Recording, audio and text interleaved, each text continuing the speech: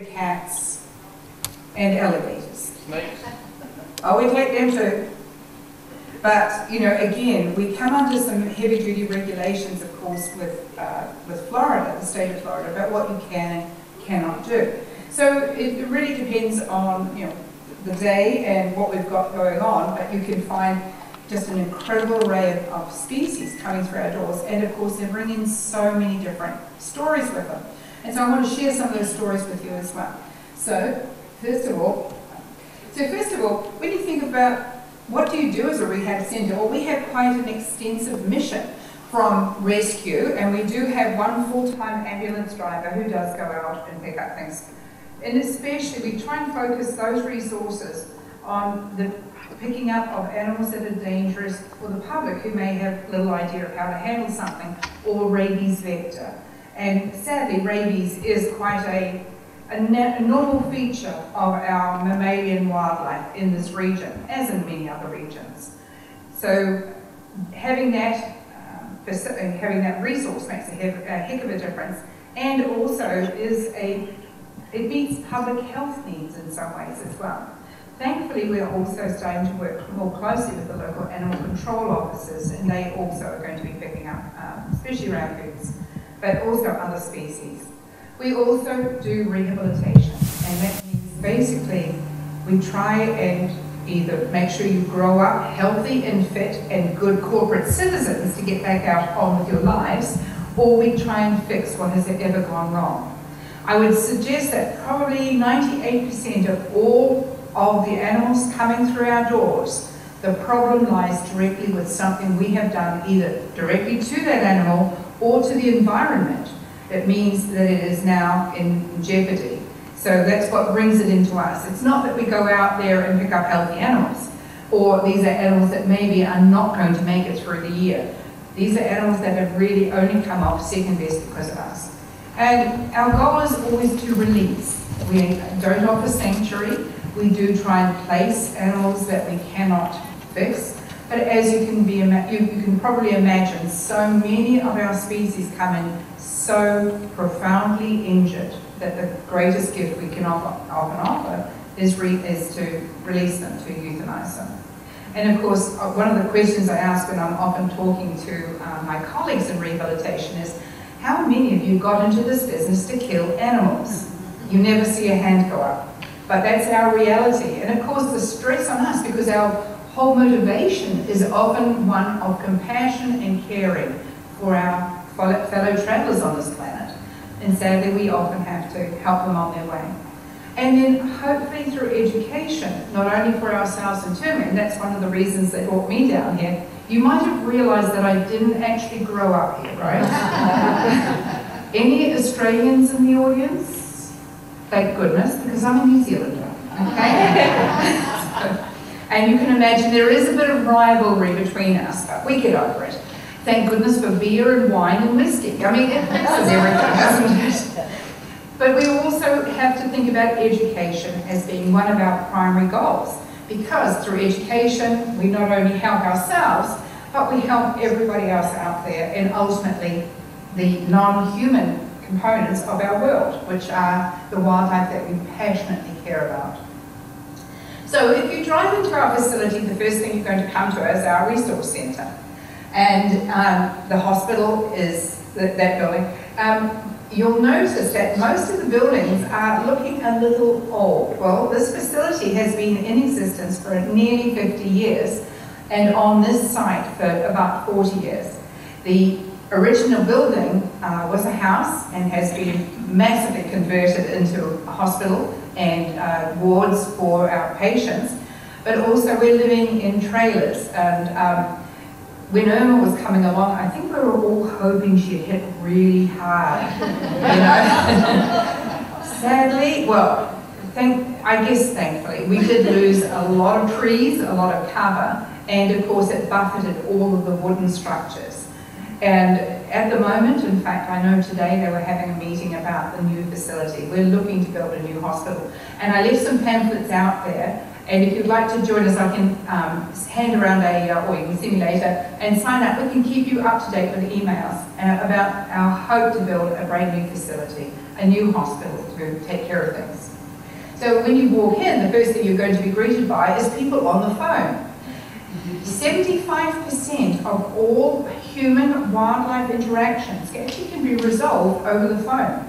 And so we actually have this incredible team of people who sit there dealing with calls from um, we cut the tree down and now we have a raccoon nest on the ground. What do we do? To, um, well, some of the ones I really shouldn't mention.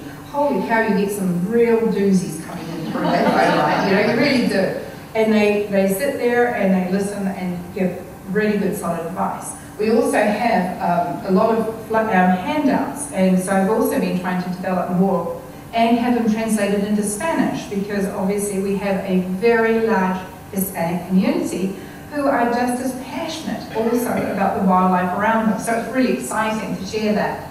So we do have some wonderful pamphlets. They are available on the website as well. That's really exciting from my perspective as an educator. I would like everything to be made easy so that everybody can share the joy and the knowledge that we all share in our facility. The other thing you'll notice when you walk into our facility is there's going to be a board up and it'll tell you how many patients are on site right at the moment. Um, and often we, we're running between 10,000 and 12,000 cases coming in every year. It's, you know, quite a large operation. So we also can think of, you know, the range of species that might be coming in the door, and up to 250 species are what we can expect to get and often get in at least the uh, high hundreds and uh, up to 200 species per year. And of course, many of those, not but a number of those are also species of concern. We know that we're losing ground, and very sadly, uh, the reports coming out now are telling us that so many of our species, many of our vertebrate species, are learning, losing ground. And so we certainly do see our number of endangered uh, threatened or species of concern coming through our doors. So as I mentioned, uh, I think we have our ambulance service, thank goodness, because I, you know, just, I, I, my heart goes out to these animals. You know, if one of us gets knocked off on the road, or knocked off, knocked over, shall we say, on the road, knocked off is not quite what I meant to but, um, you know, knocked over on the road, somebody is going to call 911 and an ambulance is going to show up rapidly along with everybody else and you'll be whisked off to hospital. Many of our patients actually sit on that road for hours to even days. And so they're coming in just in such poor condition. So when we can respond almost immediately to a case, I find, you know, I, I just am thankful that we can do so. Now, just like any triage or um, any uh, emergency clinic you go into, the first thing you've got to do is go through triage. Now, if you're not too badly hurt, you know, you've gone in because you feel a bit sick, um, you're probably going to sit in that waiting room, depending on how long the wait is, maybe for an hour or two or three or four if you're a human. Um, of course, if you're critical, you get in pretty quickly. For us, if you are critical, you get seen very quickly uh, because often you're bleeding, you're having trouble breathing, whatever. That will be an immediate response. But sometimes it's also valuable to let that animal who's just gone through hell just to sit in a quiet area, protected, and just catch their breath. And so we can often reduce a lot of stress before we start the next stages of this process, just by letting them have a half an hour just to catch their breath. Because they've already gone through hell, and now they're going to be put through a little bit more because they're being handled by a predator. We're predators and they know it. Our eyes are in the front of our face, and you can't fake that. They know, you know. So it doesn't matter how nice we try to be. So, you know, that little bit of time to catch your breath. So remember the next time you may be sitting in the emergency room, you're just catching your breath, okay? Through a gritted teeth. Uh, once you get in, you're going to be examined. We have three veterinarians on staff. We also have a number of veterinary technicians and highly skilled rehabilitators as well. So depending on the workload, you may have two lines running where our patients are being examined. And the decisions are being made. Is this an animal that has a future? And what is that future? So we also have to make some of those life and death decisions right immediately. If you've got you know, guts hanging out, we can see a part of your brain, there's wings missing, things like that, we can't really fix that. And we can't offer a life that is suited to you, the spirit that is you. So we, we offer, you know, very gentle, kind way of going out. But of course, once you've got those initial exams done, we've made decisions about, yes, we can fix this, the question is, what are we going to do? And that animal might have been sitting out on that hot road. I found out that South Florida is a hot place. I am not suited to it, but I take my hat off to anybody is, and I, I, I'm really grateful for AC. But these animals don't have that luxury. They've sat out there often in the hot sun without food and water for hours to days. And so often our first step is just to start stabilizing, and that means fluids. So we, we put the plans in place. How are we going to go and move through the steps to actually have give this um, animal the best opportunity to recover? And uh, you know, often takes uh, it does. It takes quite a team of people because you can imagine with our caseload, even if we have, you know, uh, in the normal height of summer, we might have probably six or eight hundred animals on site. That's a lot of animals all needing care of some sort, just to be, you know, be present for. Uh, the other thing we need to do is really make sure and reevaluate constantly all of those cases. We need to know that you're moving through the healing process, that you're stabilizing. And of course, we see some pretty cool animals through that process. Uh, we also see some extremely sad cases. And I'm going to see if I can point. Okay, so in this x-ray, this is a red-tailed hawk that has three separate forms of ballistic material on board. It means it has been shot three separate times. Look at this. These the round ones. This is probably steel shot. So somebody with you know, a, a gauge um, shotgun took a shot at it. This is a air rifle pellet some kid, and I hate to say it, but probably a teenage boy, we know that that is, you know, the, the biggest part of the, genera uh, the uh, um, population who plays with these guns, has taken a shot at it.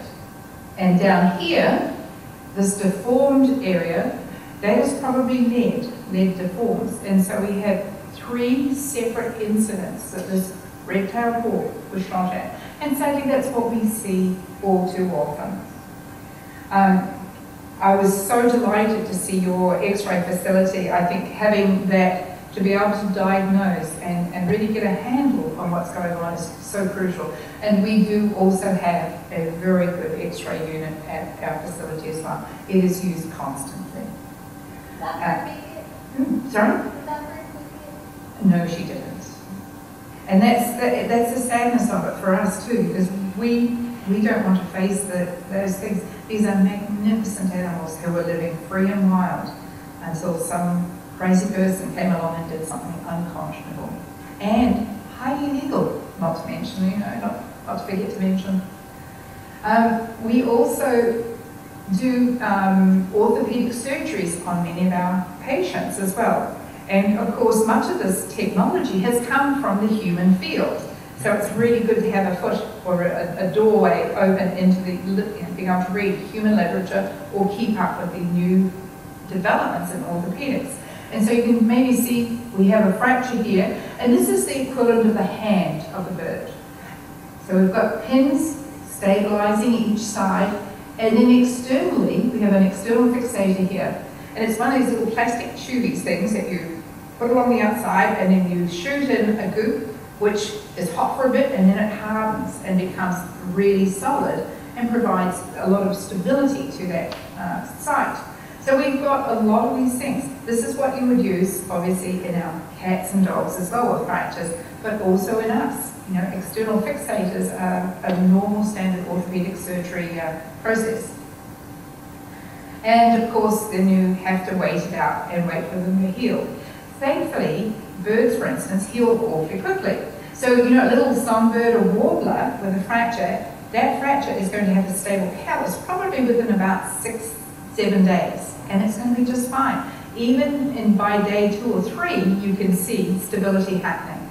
By the time you get up to, say, a fish crow, you're probably looking at about two weeks. And with these herons, by about weeks three, you're looking at a very stabilised fracture. So thankfully they heal fast, unlike some of our other patients, and I'll talk about those a bit later on. Um, obviously, one of the other biggies that we have down here are fishing tackle. And this pelican is having an, uh, surgery to actually remove a hook. But I'm going to show you a pretty exciting piece of footage later on. We can actually, actually we make our staff members with the smallest hands do it, but you can actually reach down into a pelican's belly and pull it out. Um, so we can do that as well. We also learn a lot from your human technique, your orthopedics and also um, physiotherapy. So we use cold laser to help reduce pain and to promote healing. Fabulous unit, and it's just making such a difference to so many of our patients. So we use a lot of different modalities in our practice. We just pirate everything from everyone. now, if you've come in, you've been in terrible shape, you're probably going to spend a few days in our intensive care. And so that's where we really monitor the cases. They're often on intravenous fluids and also on oxygen supplementation. If you have a head injury, you can imagine how many of our cases come in with head injuries they've been banged into, they're banged into something. Or even if you're a heron, you've been flying along, you've been clipped at the back end, guess what the head does? Whips around and whacks on the head, on the car, doesn't it? So we know from human studies, by adding oxygen to the mix, we can actually reduce the amount of damage done to the cells in the brain. So you go on oxygen supplementation. Guess what you guys would be doing in hospital? You'd be getting tubes up your noses or a full mask and having the same treatment. And it works. Now, once you've moved out of intensive care, the next step for you might be going into the ward. You're still on medications, we're still making sure you're stable and eating and pooping. Uh, what goes in one end needs to come out the other, we need to know that. And uh, so you'll end up with some time in the ward being cared for by the team in that area. Notice all the towels over everything. They don't want to see us, and they sure in heck don't want to see anybody else who might be another predator. So those towels help reduce the visual stimulation. And a bit of darkness is, you know, it's calming, keeps things a little bit more peaceful for them. But every day you're going to be pulled out, and often you get weighed, because if we don't track your weight, we often can't judge what we need to do next. And as you see, this heron was very good about it, just popped on the scales himself and somebody took a photo. So, yeah, this is a good patient. um, we also not only go the intravenous route, we are fortunate, and if anybody's had a cat or a dog who's got subcutaneous fluids, it's exactly the same process. We often use subcutaneous fluids to help uh, restore hydration states to our animals. And that is often given, and you can see maybe a little bit, it's just a bit yellow. We also dose it with a little bit of B group vitamins. You know, we make a cocktail up and they get all the goodies they can possibly handle while we're doing this. Hydration is probably one of the most crucial factors in trying to pull these animals back to stability. And you all know, if anybody here has ever been dehydrated, and I know none of you have done this, you know, Saturday night, you know these people, they go out on a bender, and Sunday morning they wake up with a headache from hell, and they're dehydrated like a prune, okay? I know none of you know this, but you see. Our animals are just the same. They come in like prunes, and so it takes time. You know, it's not till Monday morning that that person is starting to feel okay, and they have only done, you know, they've only gone out one night, a couple of nights ago. These guys have maybe had hours to days of being in a really critical place. And then, of course, we get, so I would like to say, many of those animals we call the train wrecks. They've never, there's that sub-adult and adult animals that come in all year round. And they've really been so profoundly damaged or hurt by whatever's going on. That, but then we get the home wrecks. These are the healthy kids that come in. And of course, there's a seasonality to what that, that happens. But we literally get hundreds upon hundreds of babies in that nursery. It is quite a sight to go in there and just see, you know, just row upon row of babies. but it's also good to, we also collect data on every animal that comes in. So we can also chart when we're likely to see these animals. So this is when our squirrels come in. And you can see by far and away, August is our biggest month for squirrels. So if you're a volunteer, you don't take, and you like squirrels, you don't take your holidays in because you can have fun feeding all the babies. Um, so it's really important for us also to take that uh, time to enter data because it gives us such an edge when we start to look at what's happening with our animals and also how we plan our annual cycle. We also get all sorts of other cues in, but you know, when you start feeding them, oh, they do melt your heart. really sweet little guys. And even, you know, those big mouths gaping at you when you walk in. They're very, very cute. so yellow crown night herons are quite interesting. One of the primary sources of food for these guys are crabs. And we often in you know, our community can't get enough of the natural foods, so we sort of go to second best.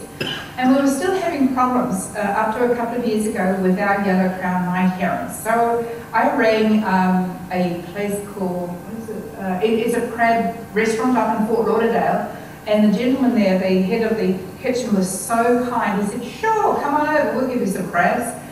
And we get buckets of crabs from them.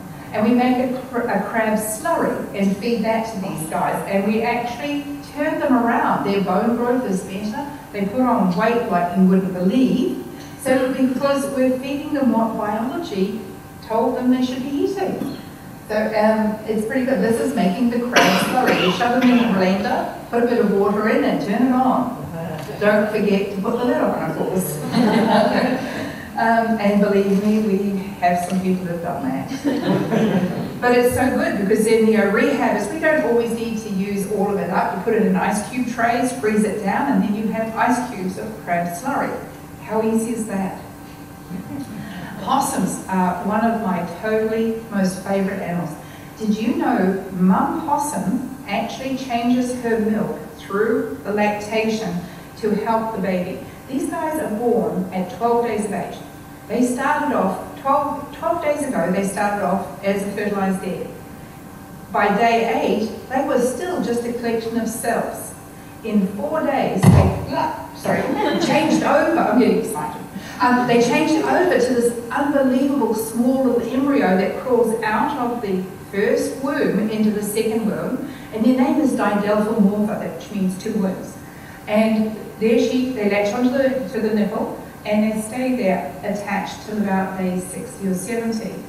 Then they're going to get off and go and pop around a little bit, but by about day 80, they're starting to move outside and start eating other things.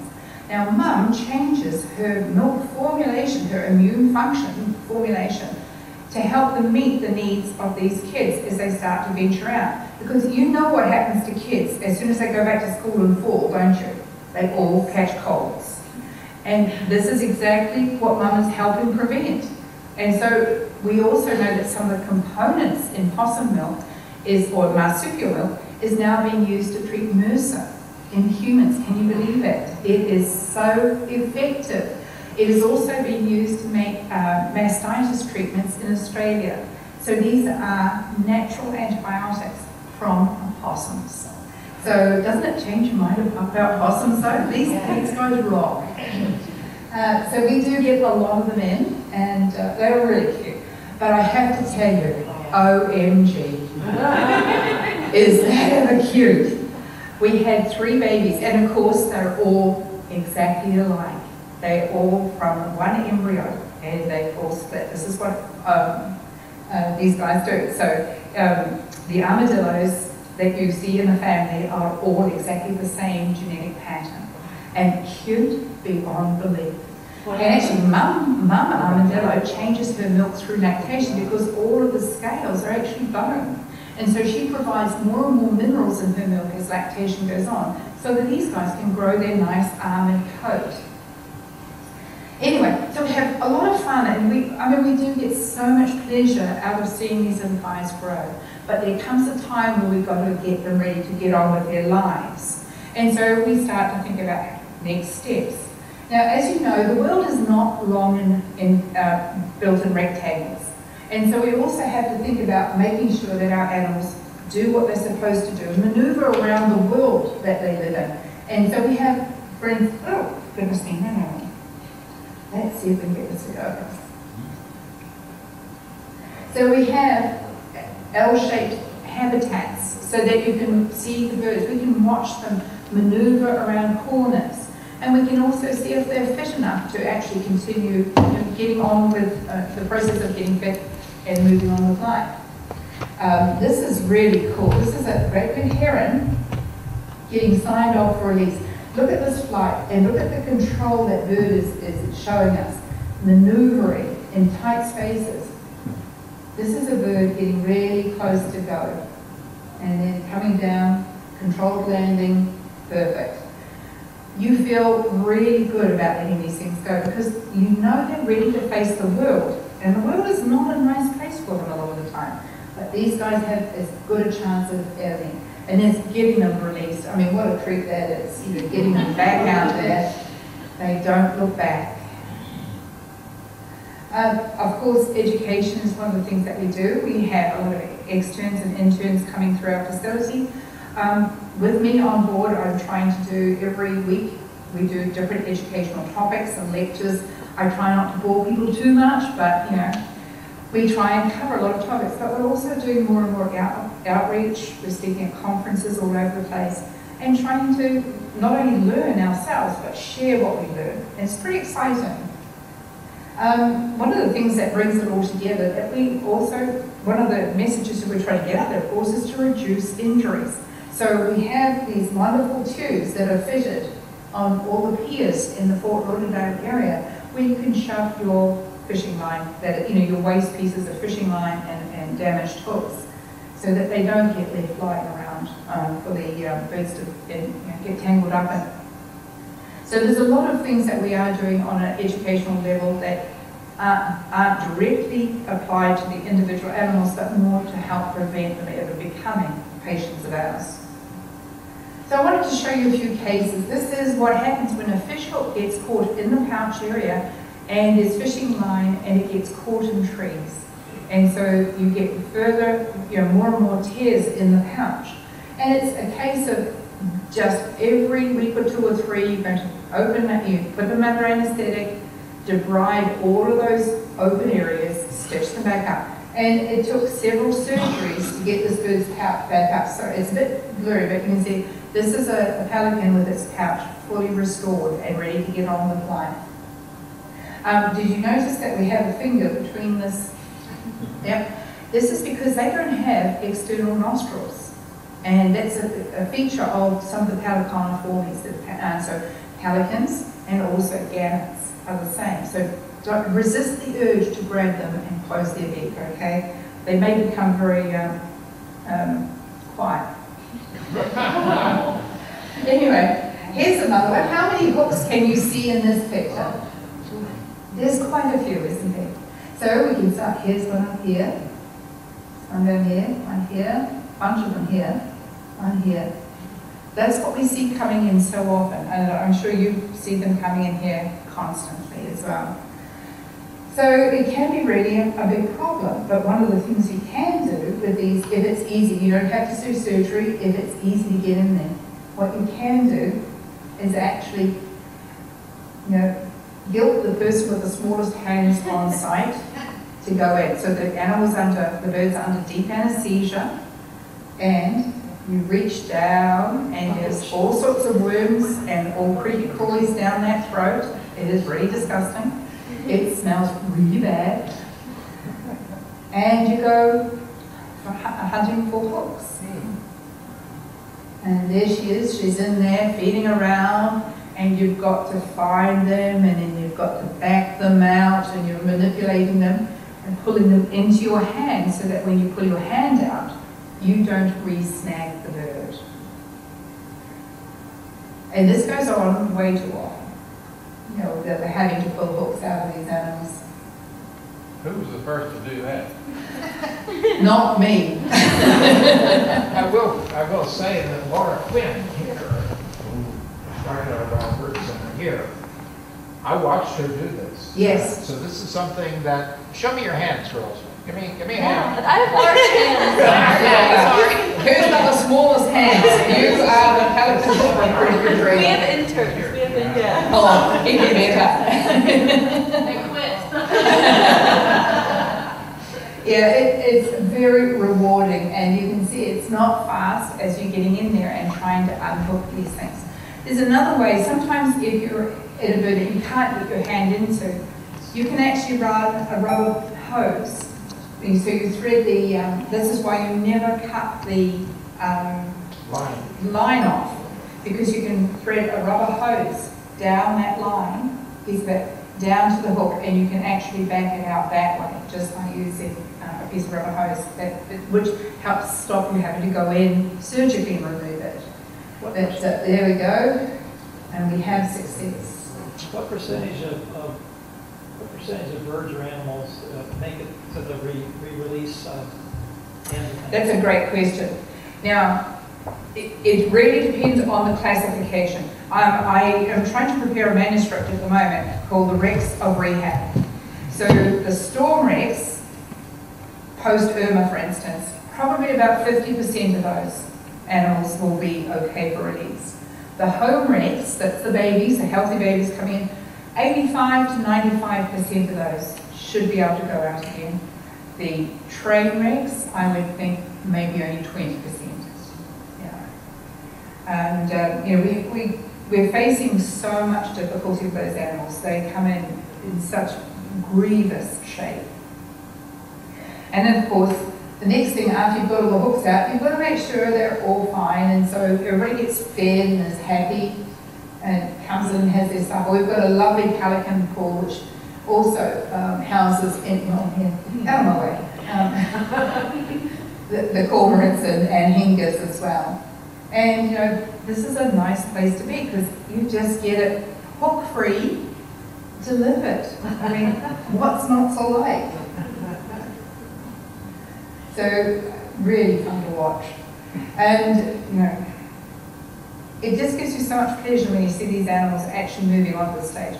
These guys are fairly robust. There's a lot of animals that never become quite as robust. And you think of some of the other fish eaters like the osprey, they can be really problematic to get self-feeding. One of the tricks we can use is to put a fake nest in there. Because remember when they were youngsters, mum and dad would bring fish back to the nest. And so that's the first time in their lives that they'd be eating dead fish. And what are we presenting them? Dead fish, because you know ours are all freezer fish. Uh, so this way you're actually have you know taking them back to being a, a, a youngster. So by just feeding them on a small platform, sometimes you can get them eating. We have all sorts of tricks in play here. Um, the, the biggest gift we all get is this, is that day when you have a whole bunch of them that you can actually let go. And they do what they should do. They get on and, you know, take off and start to get on with their lives again. That is magic. Oh, I'm sure they're pretty social when they're here, so I'm sure they do stay. And you know, um, I think there's probably a fair bit of recognition of each other as well, especially um, you know if you've been together for a while. I'm sure there's a lot of recognition. We, we've always thought, well, we've always thought birds are a bit thick, but they're really not. You know, there's a lot more going on there than you really ever give credit for. I think, or we've ever given credit to them. Yes. Do you band these birds? No, we don't, sadly. Um, I used to. Um, so that's why I am very confident that rehabilitation is a really good feature, you know, a good thing, and it works. Um, I was banding birds right from the mid 80s through to the uh, 90s up in Montreal at Le Nichoir, the bird rehab centre I started up there. We got one band return once from a robin that was two years old and killed on the road in South Carolina. That meant, and it came in as a nestling. It survived and migrated. Uh, we have band returns from ring-billed gulls that were kicked off a roof up in Montreal, hand-reared by us, and it, it was sighted down here in Florida. You know, just incredible. Uh, mallard ducks are migrating and shot now, sadly, uh, on migration. Um, crows, the American crows, we have bands coming in five and six years later after banding. You know, so we know it works if you do a good job. And I, you know, I think that's another thing that so many of us in this business, we are absolutely, um, we, we've bought into the fact that we've got to be professionals about this. You know, there's ways of doing it, and we can do it professionally. Um, ne- the last case I wanted to talk about before I go on to just a slight other thing I'm doing as well is the turtle. Did you know there are two papers in the scientific literature where they document people crossing lines of traffic to go and hit the turtle?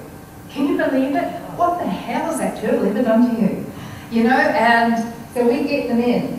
Can you see all the hardware just needed to pull all the fractures together?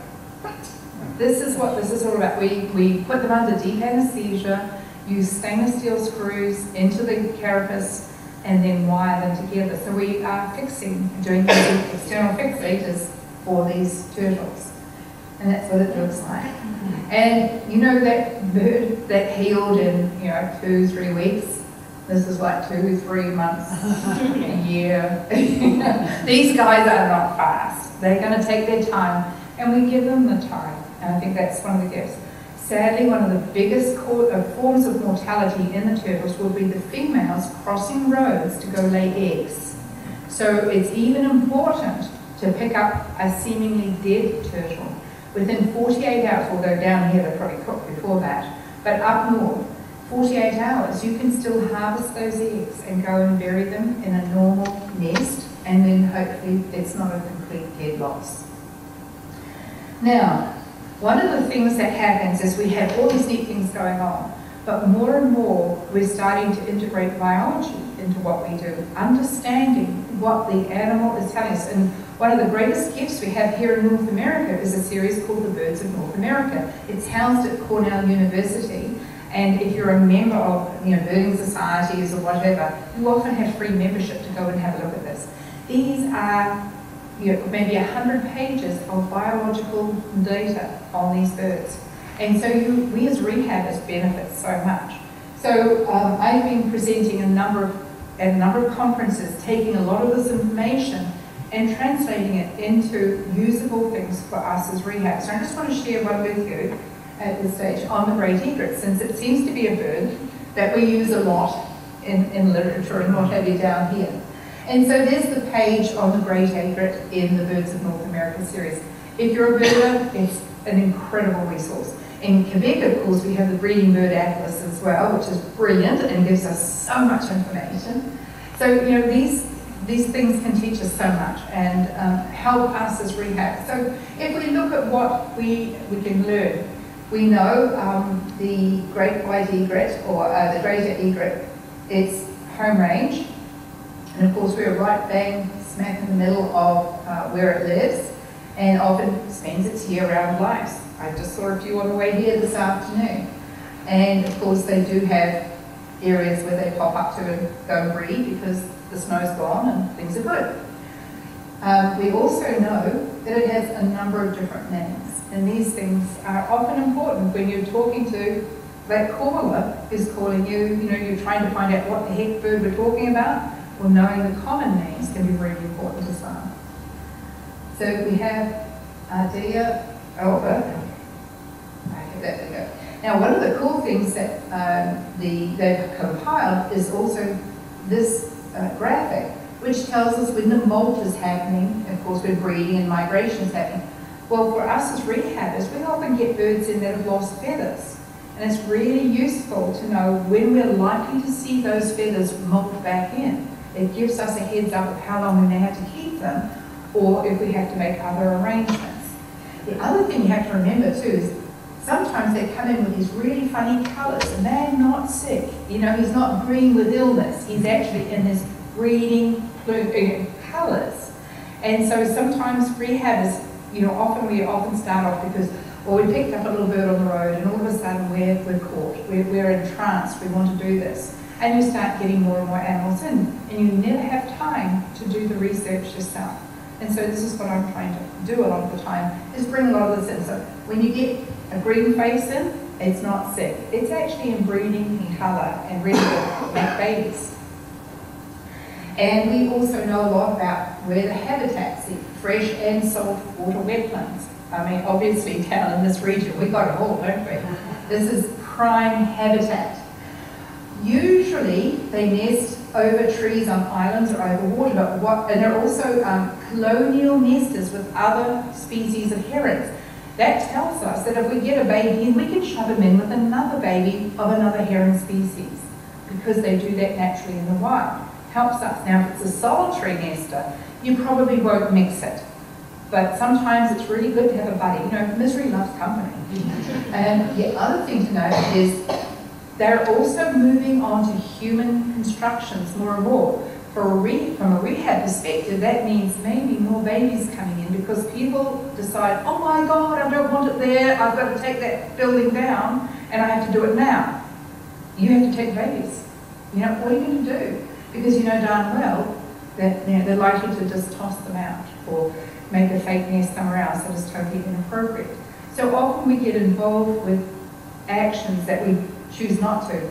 Of course, the first thing you do is ring your local fish fisheries officer or, you know, your, your, whatever offices you have in your region to either get permission for something to happen and so that you can be doing everything legally as well. But it does mean that, you know, as soon as you see human habitations being utilised, you know darn well we're going to see more of them coming in. Now, when we start to look at the development of these chicks, I like to know how old are they and what is the normal developmental stages that we should see linked to those days. And it gives us a clue over here what we should be doing at that stage. Now, the other thing, the reason this is so crucial is these animals are also eating a lot of toxic material that change their development. And often you will see animals that are contaminated with various pesticides or other heavy metals or something. They will develop apparently normally for a little bit and then they crash.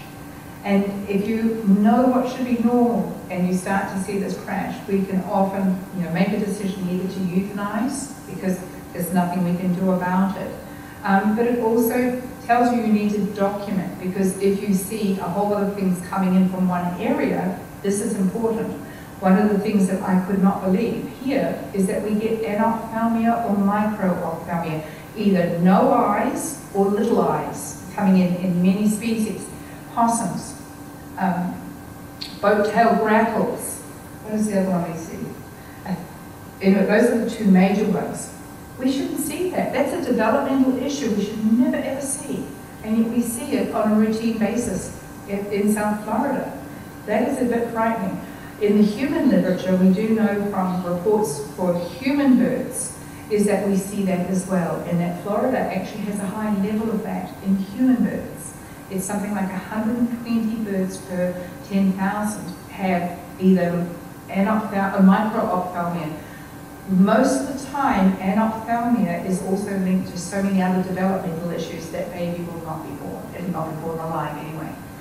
So we're seeing these things coming in, and it's also something that this rehab as rehabbers we need to understand and document every time.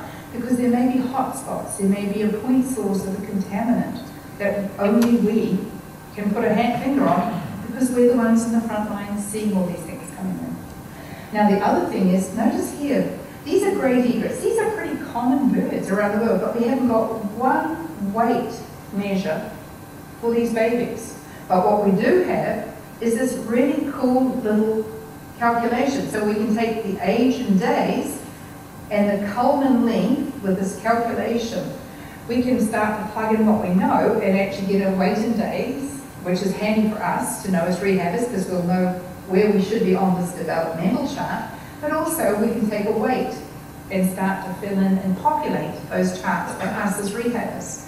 So we, we're starting to use a lot of things out there to help make our jobs easier, but also to know whether we're winning or losing with these various cases.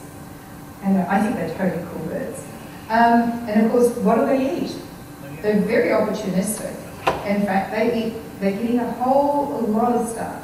So what does that tell us as rehabs that we need to think about in our diets? Know your local areas. That often helps as well.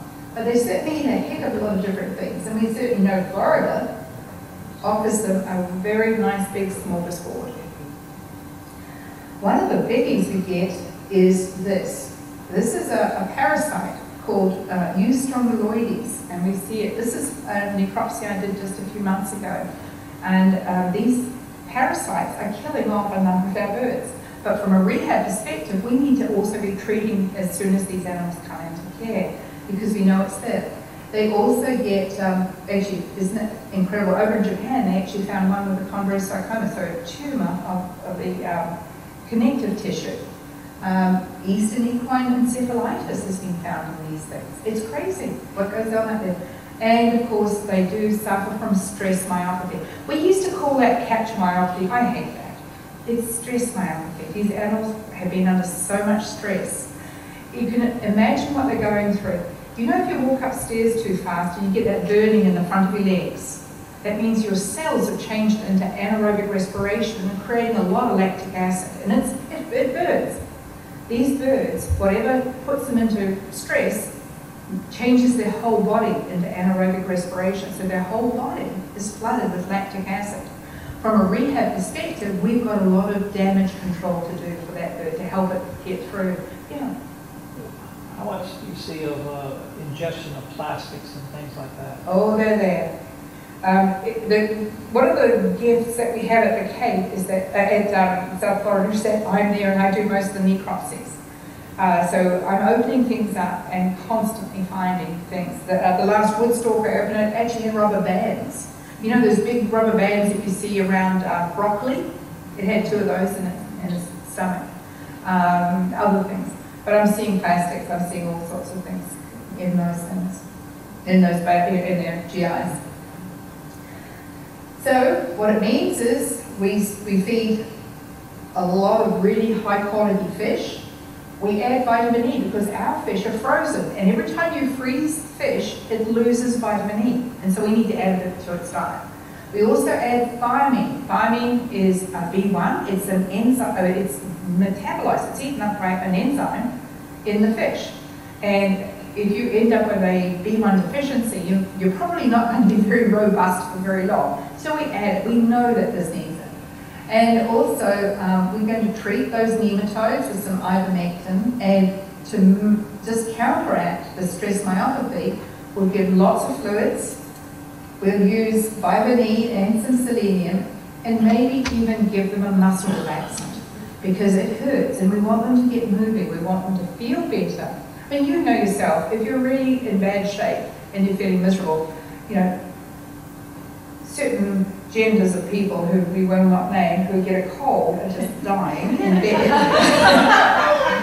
um, you know, give them a lot of aspirin, you feel better. Well, it's the same principle. We make them feel better by giving them a muscle relaxant with all the fluids on board. So we have, you know, we have a lot of things in our toolbox now to use for these animals. Anyway, so um, that's about it, and um, you know, just as my dear colleagues down here, they would have the same list, I'm sure. But if you can, have a look at us on Facebook. You know, um, any of the materials that we can share with you, we are so happy to do so. Um, you know, obviously you have some wonderful volunteers. You've been telling me about them. That's brilliant. And you know, we're always looking at ways that we can bring those do- donor dollars in and um, you know make friends with everybody out, out there in our community so that they know and they feel comfortable turning to us for any reason. You know, I want to thank you so much for coming out tonight. It's been so much share. You know, it's been fun for me sharing a little bit of what we do. And I, you know, any questions you have, anyone want to talk about anything, that's great. Thank you.